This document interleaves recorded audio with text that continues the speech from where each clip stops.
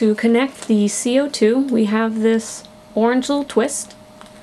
Going to bring down the door and twist it in. To start the CO2 monitoring, we can come up here and hit our CO2 button.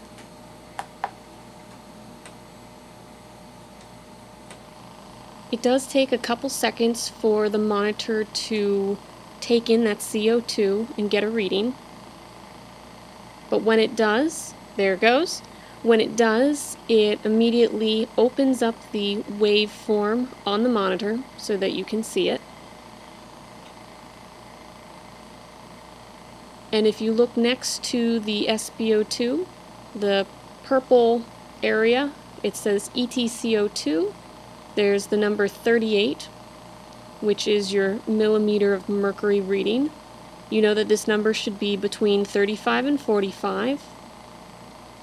And the number below that, it looks like the respiratory rate is 8. So this patient is breathing nice and slow.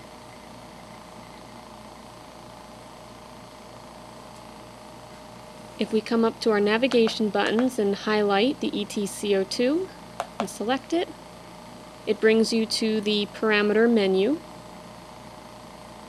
Here's the ETCO2 alarm. We have the respiratory or breathing rate alarm, the FiCO2 alarm, and the no breath alarm. So if they become apneic, if you go into the sweep speed, it allows you to change how you're looking at it, kind of like zooming back.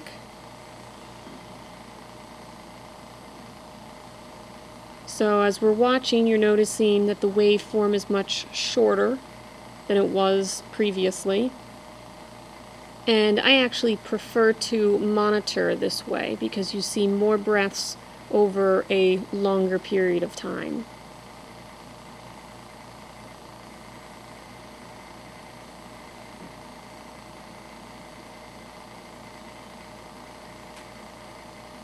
If you wish to stop the CO2 monitoring, you can come up to the CO2 button right up here and just click it off and it goes back to your regular display screen.